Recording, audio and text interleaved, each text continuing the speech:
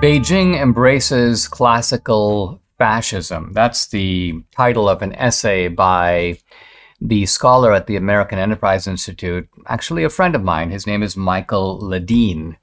And uh, while a lot of people throw the term fascism out pretty lazily. Ledeen is an actual scholar of fascism. He got his PhD by doing his thesis on fascism. I think he studied uh, Italian fascism, but he has a good understanding of what fascism at the core means, what fascism is all about.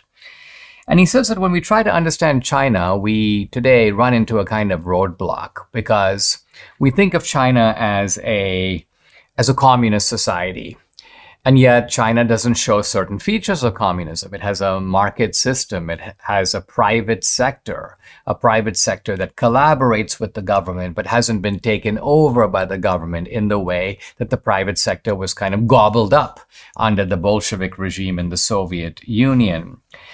And um, Ledeen goes on to say that a better way to understand China is not as a communist society, but a fascist society. And I think Ledeen knows as well as I do, and I've emphasized this in my own work, that fascism and communism are two different uh, versions of socialism. They're both inside of the socialist camp, just like the Shia and the Sunni are both inside the Islamic camp. They're two different faces or different versions of Islam.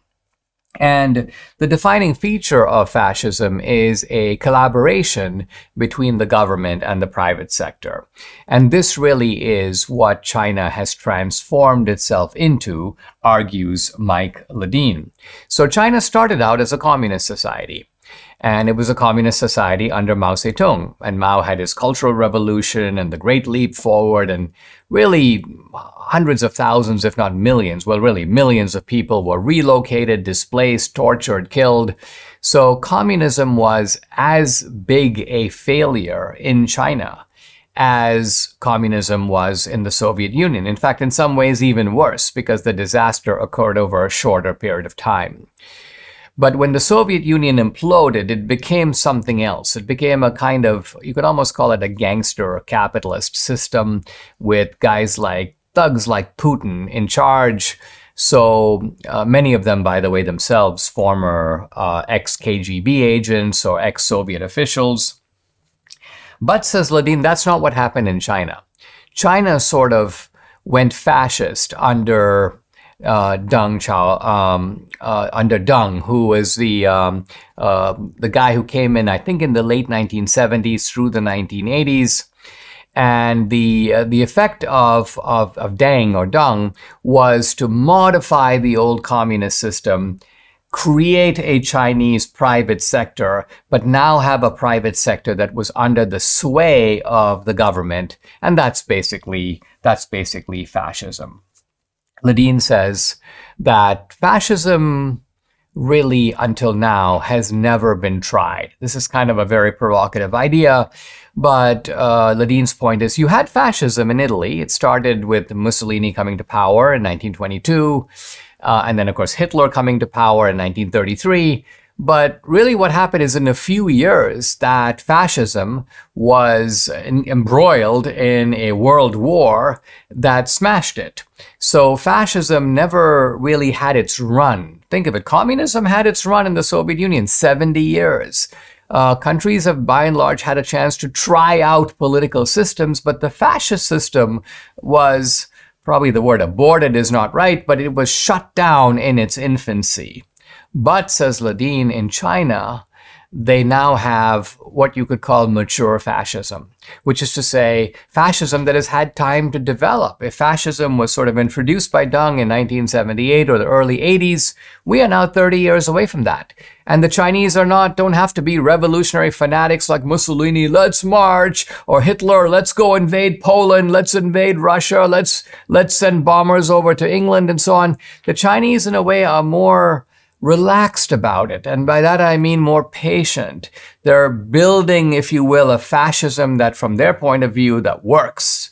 Now, none of this is to deny, Ledeen wouldn't deny for a moment, that China has all this centralized control, that this is a repressive system. Ledeen is quick to admit that Western expectations that somehow the Chinese would modify, they would become more liberal, they would become more democratic.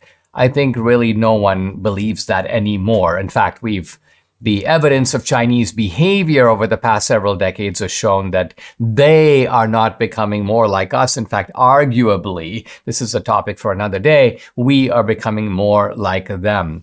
So, says Ledeen, in trying to understand China, we need to put aside the conventional framework. They're a communist society, we're a free society. Well, we're not so free anymore. And they're not really a communist society, but in Ledeen's description, a mature, fascist society in the classic meaning of the term. The classic meaning of the term fascism is not about concentration camps. It's about creating, if you will, a collectivist society with the state at the head of it, but privates, the private sector and private individuals doing the bidding of the state. And isn't that in fact what we have in China?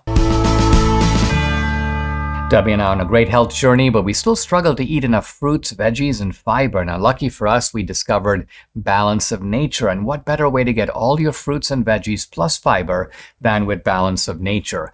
This is Balance of Nature's fruits and veggies. They're made from fresh, whole produce. The produce is powdered after an advanced vacuum cold process, which stabilizes the maximum nutrient content. And this is Balance of Nature's Fiber and Spice, a proprietary blend of fiber and 12 spices for overall and digestive health.